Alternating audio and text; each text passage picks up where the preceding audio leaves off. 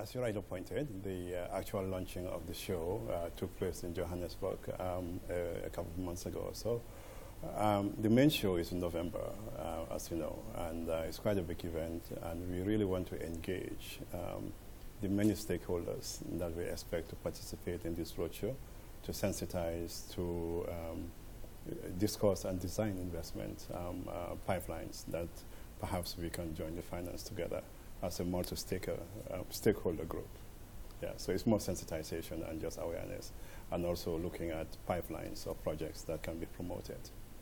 Now, as part of efforts to achieve uh, set goals for the Africa Investment Forum by the AFDB, the bank will be looking to work with multilateral institutions, governments yes. across Africa, as well as the private sector. Now, let's try to uh, let's try to extrapolate what specific uh, arrangement or mm. goals or roles that you expect yeah. these institutions to play. First, governments across Africa. How yeah. do you intend to bring them in into achieving the strategies set for the Africa Investment Forum? Well, it's, it's, it's, it's quite um, easy but complex at the same time. If you think back 50 years ago, um, since independence, the way that we have been financing infrastructure investment is through governments um, uh, given the magnitude, the pressure on population, the demand for services, uh, urbanization challenges, uh, the youth bulge, etc.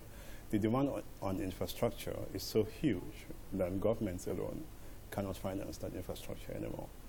Uh, at the same time, we know that there are significant pools of investment funds across the globe looking for good returns, including pension funds, central bank reserves, um, uh, private equity, etc that we can leverage those funds to do the amount of infrastructure that's needed in Africa.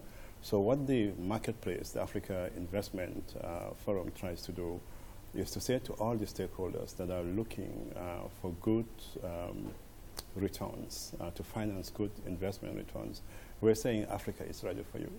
We want you to come and partner with us and finance the infrastructure needs of the continent at the same time, we will mitigate um, any perceived risk uh, because most of the risk is really about perceptions.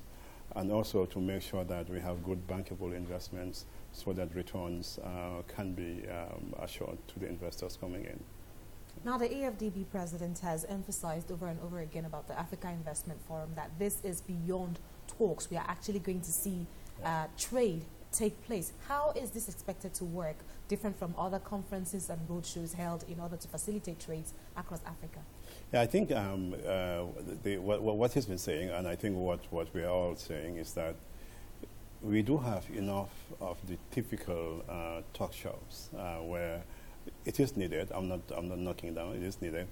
Um, but this one is quite different.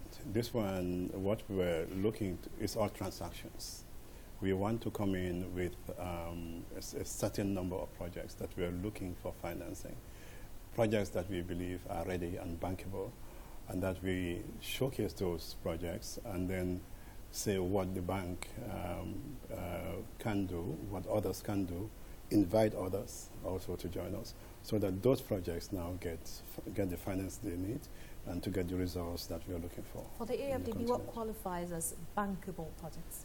Well, we, we see um, uh, traditionally across the board, whether it's in government or the AFDB, we see a wish list of, uh, of, um, of, of, projects, infra infrastructure projects coming in. Um, the preparation of these uh, projects are usually not sufficient to get, they have not been sufficiently de-risked, if you wish, for the private sector to be, invest, to, be, to be interested in coming in and investing in those projects. So through the various mechanisms we have, um, and then the marketplace that we are now setting up, we look to de-risk investment before, to make them bankable, before approaching the private sector to join us in the funding. So why focus on infrastructure? Ah, infrastructure needs for the continent, as you know, are huge. Uh, infrastructure, without infrastructure, uh, you cannot really sustain economic growth and you cannot also provide the service delivery that you need for your populations. So um, we're looking at um, the numbers are large and they do vary from um, you know from studies to study, but you, we're really looking at um, huge amounts of um, investment needed, close to 200 billion dollar gap annually.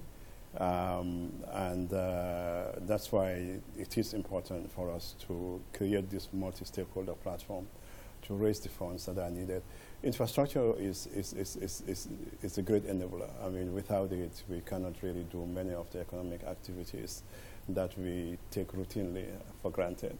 Um, if you look at um, uh, uh, Nigeria, for example, um, I think the National Infrastructure Master Plan is talking about um, a gap of about 100 billion um, needed to really bring a level of infrastructure um, uh, investment that will assure the growth targets that we're talking about in the economic recovery growth plan.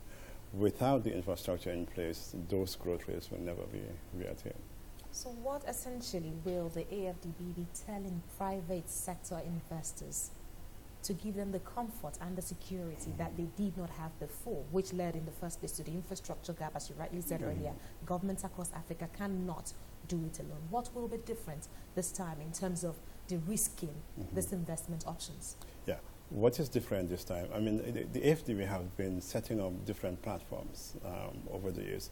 We've created the, um, uh, we have the, the uh, IPPF preparation uh, funds, we have the Africa 50, which is also has a preparation, uh, project preparation facility. And now uh, we are also partnering with others to say, how do we take a project and uh, at the upstream side, de-risk that project, which we know the private sector will not do or doesn't have the capacity or the appetite to actually do.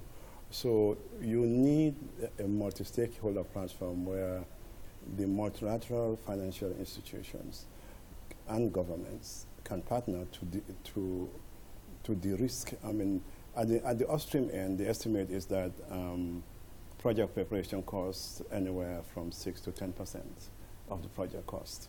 That's a large amount. And it's a cost that the private sector is not going to take.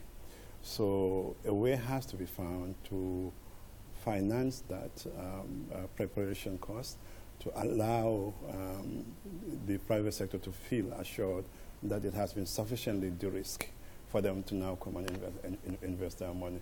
So what we're doing really is, is, is one, working um, uh, together with others on making that projects are thoroughly and well prepared, um, uh, seeing how we can mitigate and share the risk along the whole project profile. Uh, because you know, uh, for each project, if you look at it, there's about four levels of risk. Some of that risk the private sector will not take. So you have to find a way of um, uh, making sure that, that that cost element, that upfront cost element needed to prepare the projects is also available. So, but we are confident, and we have seen it, that uh, given the volume of funds out there waiting to, looking for returns on investment, that if we sufficiently de-risk um, all of these projects, the funding will come. Let's attempt to talk specifics ahead of the November event. Yes. What key things should we expect to see what we'll see is that I think this is the, uh, aside from the South African launching, um, this is the first of the roadshows. Uh, clearly, Nigeria being the largest economy um, in the continent, uh, we needed to make sure that um, we start out here uh, before going to the other regions. So from here, uh, the roadshow will go to um, the other regions, North, Central, West, and East Africa, um, to try to engage again with uh, the government, with other stakeholders to look for projects that are banking, that are ready and bankable to bring to the private sector and others for financing.